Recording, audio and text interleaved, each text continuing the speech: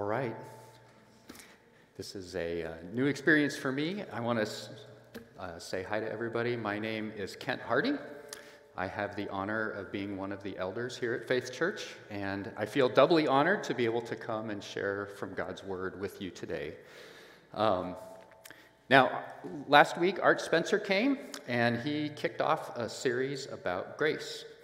And one of the things he reminded us of is just the definition of grace that it's an undeserved favor, unmerited favor before God. He reminded us that no one actually deserves God's love.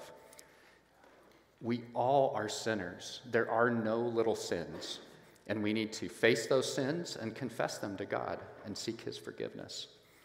He also reminded us to extend grace to others. We need to forgive them. We need to not think of, their, of them as being worse than us because their sins are different than us, but to show them God's love. So today, as we continue this series on grace, I would like to share from Ephesians 2. And so this chapter contains one of the really classic texts about grace, and it's, it's really crucial for the Protestant evangelical way of thinking, especially. So, Ephesians 2 8 and 9, super famous verses, right? For by grace you have been saved through faith. And this is not your own doing. It is the gift of God, not a result of works, so that no one may boast.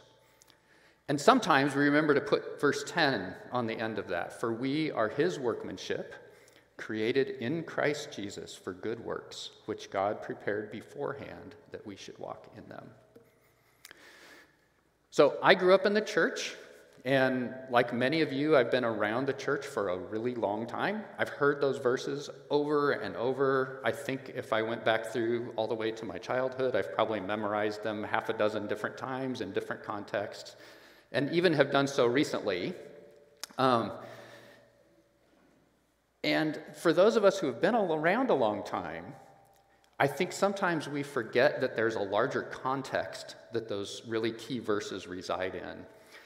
And so, what I would like to do today is look at the entirety of Ephesians chapter 2, go zooming through it, and look at some big picture things that these really key verses highlight for us. So, those of you who are not like me, who didn't grow up in the church, this is still going to be great. There's so much information here in Ephesians chapter 2, and I am praying that God will um, really enlighten all of our eyes. Now, a little bit of context before we dive in. So, Ephesians is originally a letter. It was written to a particular church in a particular city called Ephesus by a guy named the Apostle Paul, that, that we call the Apostle Paul. It was a city in modern day Turkey. And Ephesus was a big deal at the time. It was a big city, it was an important, powerful city. In fact, the Temple of Artemis in Ephesus was one of the seven wonders of the ancient world. It was a famous big place, and it turns out that the original uh, believers they saw it as a crucial place to go to. And so we see in the book of Acts that Paul spent a bunch of time there helping found a church. We see in the book of Acts that other people were there ministering in Ephesus. We see in Paul's letters that he sent people to Ephesus to care for the church. And we also know from church history that the Apostle John went there at some point late in his life and ministered there, especially after his time in Patmos. He probably died ministering in the city of Ephesus. That's probably where he ended up. Um, so, all of that to say, this, this letter was written to a particular group of people at a particular time. They're real people. And even though that's true, there's a lot of truth here that's relevant to us today. So that's what I really want us to, to think about. And so, just one more tiny bit of background Ephesians chapter 1, we're not going to read, but it starts, the first half of the chapter starts with this great, glorious offering of praise to God for what He has done in and through us, or in, in and through Christ for us, I should say it that way. Um, it's, it's just a beautiful passage. And then in the second half of the chapter, Paul decides that he's going to pray for the people of that church that they would be able to grasp what he's about ready to tell them. And so I would actually like to pray part of that prayer for over us as we get started here and before we dive in. Father, I pray that you would give us your spirit of wisdom and of revelation in the knowledge of you, that you would enlighten our eyes, that we would know the hope to which you have called us, that we would know the riches of your glorious inheritance, and that we would understand the immeasurable greatness of your power toward us. Help us as we look at these verses today to see what you want us to see and hear what you want us to hear. The Spirit, please work in these hearts, and mine included. In Jesus' name, amen. Okay. Um, before I dive in, let me just also say there's no way that we can do justice to this chapter in like 25 minutes of me talking up here. Um, just for grins, I, I did a uh, many years ago, I listened to a series of sermons through the book of Ephesians by this guy named Martyn Lloyd-Jones. He did 37 sermons on chapter 2, 22 verses. Um, so we are, we are zooming today by comparison, but I still think that there's something that we can learn. Um, so let's start by reading Ephesians chapter 2. We're going to read verses 1 through 10 and talk about that a little bit, and then we'll eventually read the rest of the chapter. All right, so Ephesians chapter 2, verse 1.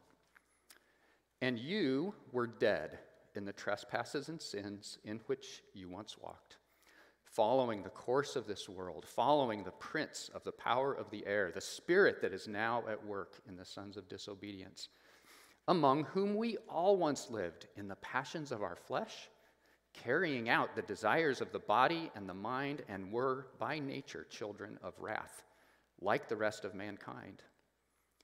But God, being rich in mercy because of the great love with which He loved us, even when we were dead in our trespasses, made us alive together with Christ. By grace you have been saved, and raised us up with Him, and seated us with Him in the heavenly places in Christ Jesus so that in the coming ages he might show the immeasurable riches of his grace in kindness toward us in Christ Jesus.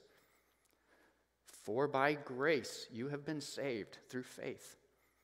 And this is not your own doing, it is the gift of God, not a result of works, so that no one may boast. For we are his workmanship, created in Christ Jesus for good works which God prepared beforehand that we should walk in them. Okay, so Paul starts out in verses 1 through 3 here by poking us in the eye. He says, By the way, before you knew Christ, you were dead. Now, of course, these people that he was writing to had been physically alive. They weren't physically dead, they were spiritually dead he says that they were following the world. They were following, actually following Satan in what they did. He says that they were living by their own passions and desires. They just did whatever they thought came natural to them. But then in verse 3, Paul says something that's even more terrifying. He says that they were by, chil- by nature children of wrath, and that everyone is. In other words, what he's saying is that merely by being human, we are deserving of God's wrath. That's, that is hard to understand sometimes. And our culture definitely does not agree with that, right? Our culture thinks that people are inherently good, and if we could just maneuver things around to be just the right thing, that everybody would be okay and we'd all get along and everybody would be happy. But that is not the message of the gospel. The gospel says that we are broken depraved people. It says that we are helpless, we are hopeless, and honestly, we don't even know it. And that's pretty bad news, right? That would be really bad news, except that verse 4 starts with, But God, being rich in mercy, because of the great love with which He loved us. Notice that he uses this word mercy. So, this sermon series is about grace, and we already said grace is this sort of unmerited or undeserved favor, right? And mercy is kind of the flip side of that. So if grace is undeserved favor, that means, in other words, getting good things that you don't otherwise deserve. Mercy is the other side of that. It is not getting the bad things that you actually do deserve. So it says here that God is rich in mercy, and that is because of the great love with which He loved us. And notice also in verse 5, it says that He loved us despite the fact that we were dead. So if you can just picture this with me for a second, we were rotting, stinking, nasty corpses. And God didn't look at us and go, You. He looked at us and He said, I love you. And He raised us up. It says in verse 5 He made us alive he raised us up with Christ and He seated us in heavenly places with Christ. Now, I look around here and this is a great place, but it's not exactly heaven, right? It says we are seated in heaven. And one of the things that you'll see throughout the New Testament is this concept of things that are already true and not yet quite fully realized. And we do not have time to unpack that today. But I encourage you to think about that. There is a truth here that we are seated in heaven. There's a, there's a way in which God thinks of us that is as if we are already there. And that is a huge blessing and a benefit. The other thing that Paul tells us is that we are saved by grace. He actually says it twice. He says it in verse 5, and then he says it again in verse 8, right? And then he says, This is not your own doing. Remember, if you're dead, which he says you are, you can't do anything. You cannot save yourself. It is not your own doing. And it is a gift of God. There's nothing that we did or could do to deserve God's grace, God's free gift of in his love for us. And keep in mind, not only were we dead, we were children of wrath. We deserve, we, we are utterly undeserving of anything good that God might do for us and we were unable to change that situation at all. So, if you really stop and understand the gospel, what it means is that any kind of boasting, any sense of self righteousness, of me being better than you, just has to be firmly and consistently booted out of your mind. It cannot be, it is not true. We are saved by grace alone, through faith alone, in Christ alone, period. Me say it one more time. We are saved by grace alone, through faith alone, in Christ alone. It is a truth of who we are as Christians. Now, interestingly, Paul also gives us a couple reasons why God decided to save us. The first thing, which I already mentioned just briefly in verses 6 and 7, it says that he, in the ages to come, wants to show the immeasurable riches of his grace to us if you stop and think about that, it means that as someday when we're in heaven, that's not going to be a static situation. We are going to be learning and continuing to grow and understand more and more and more fully who God is, what He has done for us. And that understanding of His grace is going to be a continual increase in our praise and glory and honor to Him all through the, all through the running millennia as we are in heaven. I am so looking forward to not being bored in heaven and constantly learning more and more and more about this great God that we serve. The other thing it says here is that we were saved for the purpose of doing good works. So we do good works because of what God has done for us. We don't do them to curry his favor. In fact, there's nothing you can do to be in a more favorable position with God. You are already in the best place you could possibly be if you're a Christian. You cannot do better than this. So we need to remember that we are His workmanship. Some translations use the word masterpiece there. He is the master artist, not us. He is the one who's doing works through us. And so we work because He has done so much for us. We do good things for Him. Now, these, we've flown through this passage. These are amazing, amazing truths, and we could spend weeks and weeks thinking and pondering on them, and I encourage you to do so. But, you know, God is so gracious to us, and we as individuals, a lot of what we've seen here is that we as individuals have been so blessed by God. He has given us so much by His grace. And honestly, this would be, just in and of itself, this would be a fabulous win for us as human beings.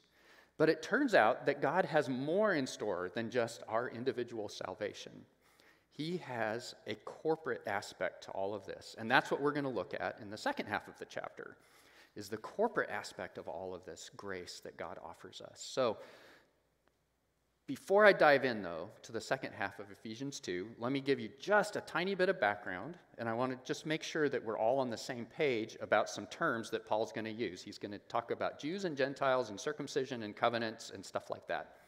And I just want to make sure, a lot of you already know this stuff, but just in case, I want to make sure we're all on the same page. So, in the book of Exodus, we read the story of how God rescued the nation of Israel from slavery and he called them to be his people.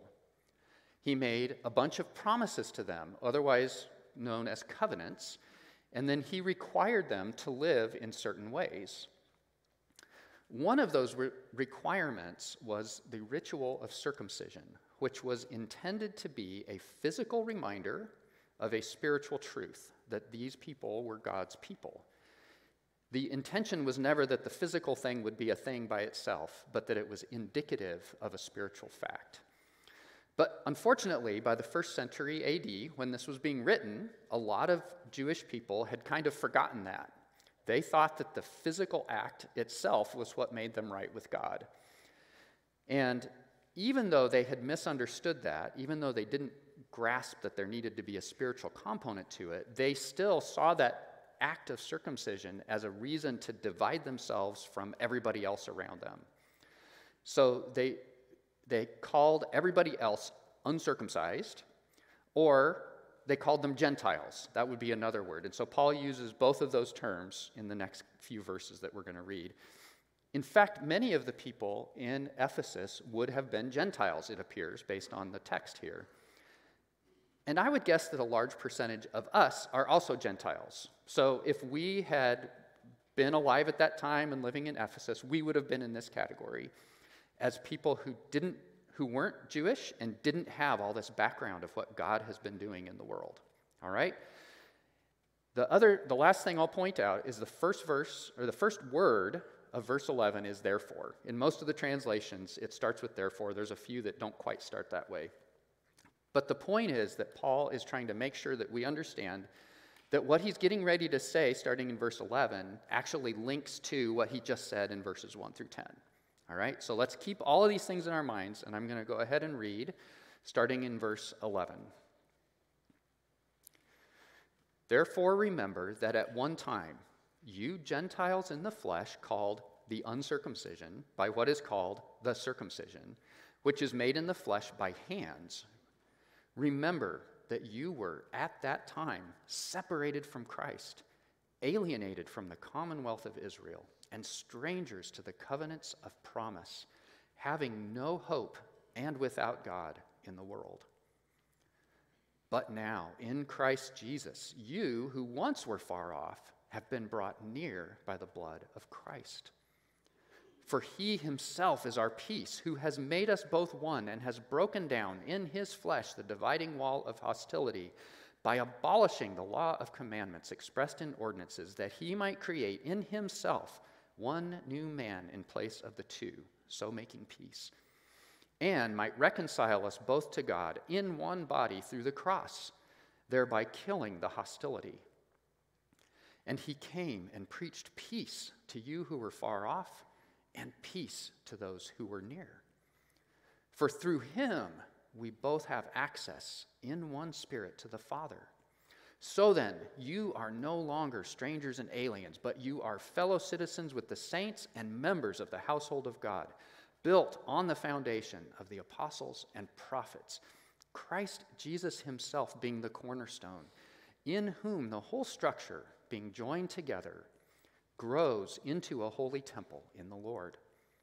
In him you also are being built together into a dwelling place for God by the Spirit. so, Paul starts this paragraph again by reminding people of where they were before Christ came along. This time, he says they were separated from Christ, they were alienated from Israel, they were strangers to the covenants, they had no hope, and they were without God. That's how he says their situation was.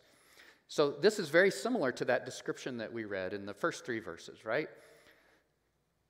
And yet, there's a different aspect that he's focusing on here. He's highlighting the fact that these Ephesian Gentiles would have had no chance to hear about God. They weren't even part of this Jewish background that would have given them at least some hints that God was there and what he might require. They not only were completely hopeless and helpless, they had no idea that they even needed anything. They were just doing their own thing. And again, the gospel is such good news because it says Christ came and God decided to do a whole bunch of stuff through Christ. So I'm just going to quickly list a bunch of these things that it says here. So in verse 13, it says that we Gentiles, we used to be far away, but now we've been brought near. He says that this dividing wall that had been put up between Jews and Gentiles has been broken down. He says on multiple occasions, verses 14 and 15 and 17, he talks about peace, that Christ brought peace between these groups that would have otherwise been hostile to each other. He brought peace to them. It's not just peace with God, but peace with other people. It says in verses 14 and 15, he talks about making one new man or one new person in place of the two. In verses 15 and 16, it says that he reconciled both groups to God. In verse 18, it says that both groups now have access to God. And he sums it up in verse 19 by saying, So then, you are no longer strangers and aliens, but you are fellow citizens with the saints and members of the household of God. In other words, what Christ is doing is he is making a new people group in this world. He is taking people from all over the world, Jews, Gentiles, and he's putting them together into a unified body that is one new people group. So, if you are an American and you're a Christian, it means that you're a Christian more than you're an American. Now, you're still in this world and you're still an American and you need to act like one. At some level, we need to vote, we need to participate, we need to be part of this world system that we live in, right? But we do that as Christians. We do that with the kingdom of God at the front of our minds. Not acting like obnoxious Americans, but acting like people who love Jesus and want other people to know him, right? Revelation uh, chapter 7 gives us a picture of what this is going to look like sometime in the future. John describes a scene in heaven that will someday happen. He says, After this I looked, and behold, a great multitude that no one could number, from every nation, from all tribes and peoples and languages, standing before the throne and before the Lamb, clothed in white robes, with palm branches in their hands, and crying out with a loud voice. Salvation belongs to our God who sits on the throne and to the Lamb. And all the, nation, all the angels were standing around the throne and around the elders and the four living creatures, and they fell on their faces before the throne and worshiped God, saying, Amen. Blessing and glory and wisdom and thanksgiving and honor and power and might be to our God forever and ever. That picture in heaven is because of God's grace. It is God's grace that not only saves us, but brings us together and lets us, with one voice, stand in front of God's throne and praise and honor Him. So, what do we do about this? I've gone zooming through this chapter, and there's a lot that we could have dug into. But the first thing I would like to say is anyone who is here who does not yet know Christ, I hope that you will hear these descriptions that Paul wrote about who we are without Christ, that you will recognize the situation that you are in before God. And I pray that you will accept his gift. He is gracious, he wants to save you. Today is the day to be saved by grace through faith in Christ. Please do it. If you have questions or are wondering what that really means, ask someone near you. Maybe the person who brought you, ask them. Maybe that's a little uncomfortable and you'd rather come talk with a prayer team member. There's going to be people on the sides that you could come talk to. And for that matter, I would love it if you came and talked to me too. I would love to tell you about Jesus and about his love for you. For those of us who are believers, the first thing we need to do is remember, constantly remember who we were without Christ, how depraved our own heart is, how I have to remember how depraved my heart is without Christ, how much I needed to be saved. And then I need to remember the greatness of God's grace, how wonderful and amazing and awesome His love is. He is so good. He is so good. And then the second thing we need to remember is that God is making a new people group from all over the world, and we get to be part of making that happen. And not only that, we actually don't have to go very far to do that. If we looked at all the people that are living even within four or five miles of this property, we would see lots of people from all over the world, right? You see them every day. Wouldn't it be great if Faith Church looked more and more and more like that scene that we read about in Revelation? What a blessing that would be for us, but also, wouldn't it be great evidence of God's grace? How great He is and how awesome that He could bring people together from such wildly different backgrounds and have them be together worshiping Christ. So, my encouragement to you then is that you would see the people around you as people who need Christ's love and that you would just act accordingly. If you know Christ, you already know that you just need to tell, tell people. You need to love them and care for them. We're called to be disciples of Christ who make disciples of Christ. And we just need to do that. And I encourage you to be thinking that way as you go out through your, your week this week. Let me pray, and the worship team can come back. Father, we are amazed at your love, your grace, your mercy towards us. We were so undeserving without you. We needed you more desperately than we wanted to admit or ever even thought about. Thank you for saving us. I pray that as we go out this week that we would remember who we are in you and that we would live in accordance with that. In Jesus' name, amen.